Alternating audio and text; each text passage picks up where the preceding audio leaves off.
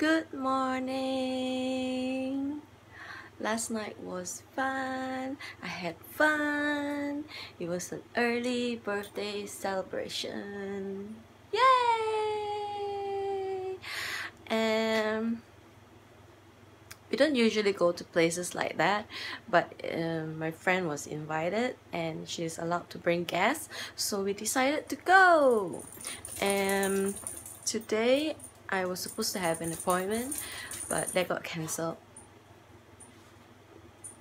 life anyway my friend Christina called at the right time Christina, love you. Um, she called and she asked me if I wanted to do lunch. So I'm going to do lunch with her and then I'm going to gym today. And I'm going to take you with me because this is supposed to be about fitness and yeah, so of course I'm going to show you how I work out to yeah, little gain back. See you guys later. I'm gonna go get ready.